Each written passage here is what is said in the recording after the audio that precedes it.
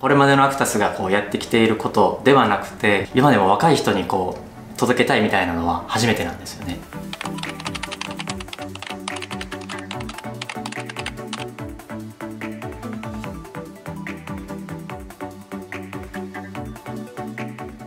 自己紹介の方お願いします。はい、えー、アクタスで家具開発をしています。渡辺と申します。あのブランドプロジェクトのリーダーをしてましてメインであの推進をしています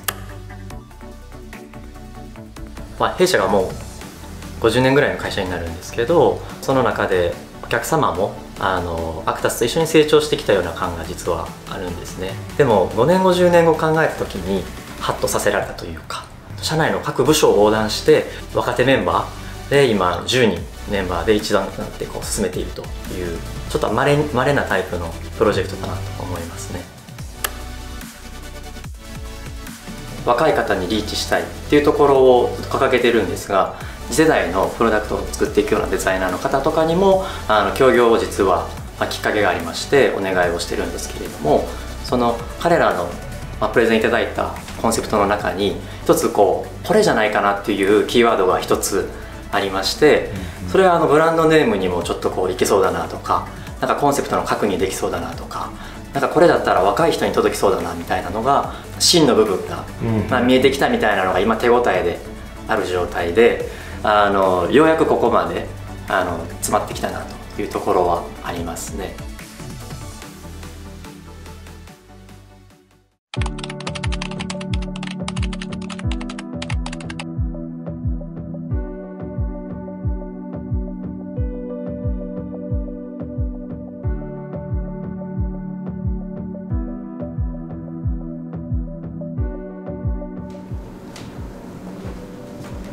おはようございます。渡辺さん。あおはようございます。お久しぶりです。お久しぶりです。一応あのブランドネームがですね Good80%Good80%はい。いろいろとこう丁寧に自分たちの世代をリサーチをして、まあ、あるデザイナーからいただいたキーワードっていうのが80%というワードだったんですね。例えばダイニングテーブル。あの幅が1 5 0センチっていうのがまあ一番コアなファミリー層に対して、まあ、大体そういうサイズってこう僕たちのその賃貸の住まいにフィットしないんですよね、えー同世代だったりこういう若い層っていうのが選べる選択肢っていうのが結構こう、まあ、カジュアルなブランドと表現していいかちょっとわからないんですけれども、もっとこう僕たちもそこに踏み込んでいけるあの要素があるんじゃないかなと。あとインテリアってなんかちょっとこうハードル高そうみたいな心理的ハードルもいや全然もう十分それおしゃれだよと言ってあげられるような肯定してあげられるようなマインド面でもなんかいい意味で8割というかちょっと肩肘張らずみたいな、もうおっしゃる通り。80%だからいいことがいっぱいあるよねっていうことで goodをつけて Good80%ちょうど会議室が6.5畳ぐらいだったのではい。これ賃貸の部屋に行けるんじゃないかっていう話が上がって一部屋を再現してます。い。きますか。はい。はい。ぜひお願いします。ご案内いたします。これやっぱ一番ワクワクしますよね。いや緊張緊張ですかやっぱり？緊張もねなんか。まあブランドのロゴとちょっとコピーをちょっと大きくデカデカと掲げてるんですけどあのこう so far so good っていう言葉を掲げてまして今のところいい感じというワードになってます。みんなこうなんか妥協点みたいなのも多分あると思うんですけどでもなんだかんだ言って今のところいい感じだよねってそういうこうポジティブなメッセージかなとうん思います、はい、今回、まあ、2部屋あの会場を作ってまして、えーこれも細かい設定があるんです。例えば一人暮らしをしているっていう設定の部屋は、まあ、タコスパーティーを今夜することになっていてはい。で1人しか来ないと思ってたら、はい。友達3人ぐらい連れてきたみたいな感じで、はいっていうような設定のあの夜のイメージ。で反対に、まあ、こちらの部屋はこう2人パートナーが暮らすその暮らしの中で1人は洗濯物を畳んでる。1人はちょっとあのやり残した仕事があって仕事をしている。でもなんかこう、えー音楽だけはこう共有しているみたいな。なんかそういうよくあるような、えー時間をちょっと再現した見たと。いうところがこちらの部屋ですね。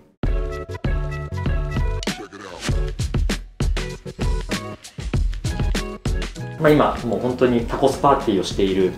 感じなんですけど、うんうんまあ、住んでいる人が、まあまあ、女性の27歳の方が住んでいるっていう設定にしてるんですがよくあるこういうベッドが、えー置いてある中に、うん。ちょっとこう仕事をできるもしくは食事をしているデスクがあるんですけど急に来たもんであのこれはもう使わずにちょっと置いてあったベンチをこっちに運んできて、えー座っていた椅子と合わせてみんなでここで床にこう座りながら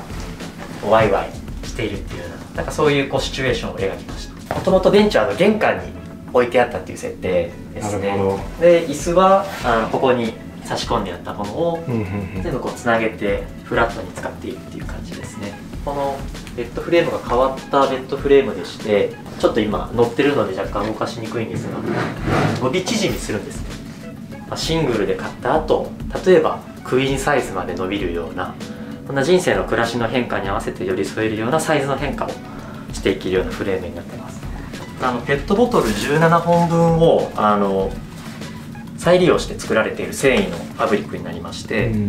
であの室内でも屋外でも使っていただけるそんなあのツールになってます。すごくこうコンパクトな空間の中では自由に使えるかなと。素材だったりとかうん。生産者みたいなところにもこうちょっと配慮してものづくりをこう提供できたらなととはですねあのこの空間でもちょっとこう変わったカーテンだなって思われたかもしれないんですけど見ていただくとクリップで溜まってるんですね。イメージはあの大きいハンカチ折り曲げてるだけなのでどの空間に行ってもフィットさせられる。うんうんうんでしかもこの大きいハンカチなので釣ってもいいし例えばこんな感じでブランケットみたいにこう広げてバサッとベッドスプレッドにしてもらってもいいし、うんうんちょっとこうくたってきたなっていうのがあればテーブルクロスにしてもらってもいいしっていう。あのこの1 4 0センチ ×2 メーター3 0センチっていう黄金比に行き着いたあのデザイナーの方がいらっしゃって。それをちょっと別注をしながらあの Good80%オリジナルカラーとして展開をしていく。あとは例えばこういう壁付けのシェルフ。今回この 9mm のあのオーク材の無垢っていうのを使ってデザイン性とちょっとこうお部屋の中にこうふと存在するんだけれどもなんか壁を飾る楽しみみたいなものがうん。提供できるんじゃないかなと思ってます。デザイン性はあるけどはい。なんかあまりに大きくないというか存在感がむちゃむちゃ重たくはならないというか。そうですね。でずっとやっぱり長く使っていただきたいので、うん。あの決して賃貸の時だけではなくてまたあの家族構成とかが変わっても使い続けられるような耐久性とデザインかなと思ってます、早速じゃあ次は横の部屋かな、そうですね。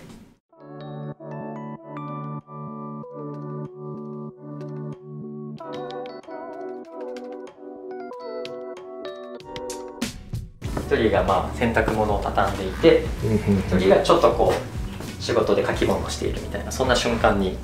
なってます。お邪魔します。ぜひどうぞ。ちょっとこうコンパクトめなソファーが置いてあってこれも実はまだ製品ちょっとまだまだこれからコンセプトはいいんだけれどもちょっとブラッシュアップする必要があるんですがこういう半円形で2人でこう食事もできるしなんか作業もできるしみたいなうんうん。なんかそういうサイズ感の製品になってるかなとちょっとまた違う印象のマルチクロス。あ先ほどでも同じはい。同じものとちょっとこう質感が種類を大体10個弱ぐらい生地感を用意しているのでかなり選んでいただけるバリエーションもあるかなだいぶ印象違いますね、はい。全然違うかなと思います。あの実はこれデンマークのブランドモンタナというところの製品でしてカラーもすごく絶妙にミントっぽいとかちょっとテラコッタっぽいオレンジとかこういうグレーとかっていう中で手軽に買える価格帯のモンタナミニっていうのが実は出ましてうんうんうん。でそれをあの、えーメーカーの方とお話しする中でぜひ Good80%用の製品としてあの展開させてほしいっていうところで、えーこのモンタナミニっていうのを展開する予定ですみんな結構リンゴ箱置いたりとかうんいろいろこう自由に組み替えすると思うんですけどそんな感覚でこういうあのデザイン性の高いものを自由にこれも今載せてるだけなんですけどうんうん。並び替えたりしたりとかしながらあの住まいに合わせてとか模様替えして楽しんでもらえたらなと製品になってます。あとですねあの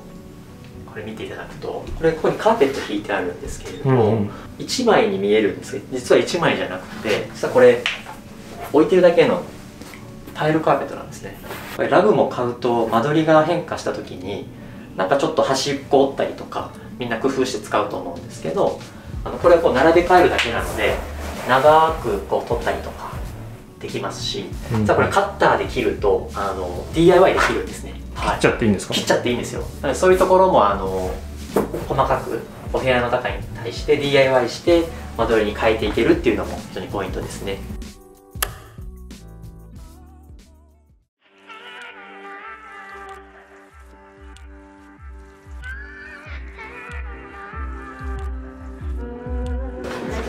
皆さんおはようございます。えっ、と、お集まりいただきましてありがとうございます。競争というか、皆さんでこうアイデアも出しながら、えー作っていきたらなと思ってますので。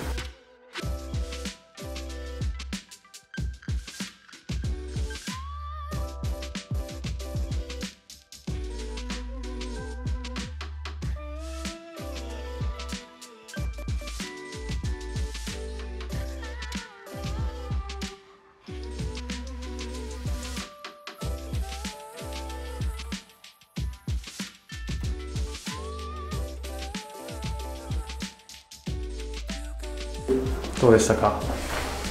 なんか思ってるよりみんなすごいペラペラ喋ってくれてすごい安心してます。20%の世界観に触れていただいてから商品に触れていただくっていう流れになるので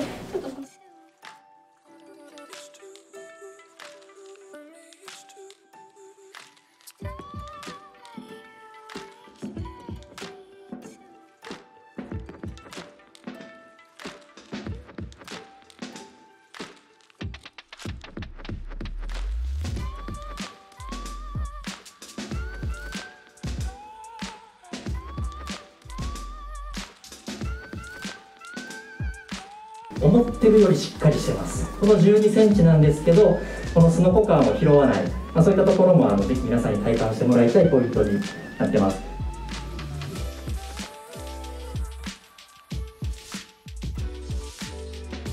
めっちゃ良かったですでも。本当ですか、うん総じて so far so good です。はい。ソファーそういうことですか？はい。今のところ順調です。好きだと思う。私好き。でい。いから2万4200円。めっちゃいいですよあのリアルだなと思いました。私も今実際一人暮らししてるのであこういうのあったら嬉しいっていうのがすごくこうドンピシャに入ってきて見やすかったです。率直にすごくこうなんか今までにないこう試みですごく期待ができるプロジェクトだなっていうふうに思いました。個人的にはあの、すえっと、ベッドが、あの結構私の友人とかも買う時に大きさをすごく気にするのでああいうこう伸長式のものがあるといいなっていうふうにすごい思いました。その商品をお客様に届けていくっていうローンチまでの販路の部分は例えば「ポップアップやるみたいなのは意外にこうちょっとアナログだなっていうのがあったので例えばサブスクみたいなのでそのものをこうシェアする世代っていうのを最初におっしゃってたからなんか物をお客様に使ってもらうとかっていうとこまでの届け方もなんか新しいやり方があってもいいんじゃないかなってちょっと思いました。まあ、普段アクタスがブランディングとしてなかなか出していなかった若い世代向けの世界観っていうのを見るのは実際初めてだったのでアクタスの可能性というか、あ、こういうこともできるんだなっていうのを感じました。渡辺さんお疲れ様でした。今日一日。お疲れ様でした。あのひとまずほっと一息とあとこうこれまで自分たちでこう模索しながらやってきた部分がなんかすごくこう具体的な意見を、えー販売のことだったりシェアすることだったりディティールの部分とかなんかすごくこう具体的な意見をいただいてなんかやるべきことの道が見えたのとなんかそれをやっていくとおそらくもっと刺さるブランドになっていくんだろうなっていう道が見えたのでなんかすごいポジティブに捉えて進んでいきたいなと思いました。なるほど。特にやらなければいけないことをちゃんとまたまたあの見定めてあのそこにフォーカスしていきたいなと思います。はい、わかりました。ありがとうございます、はい。また進展があればはい、ぜひ。ぜひお邪魔させてください。お待ちしてます。今日はありがとうございました。はいありがとうございました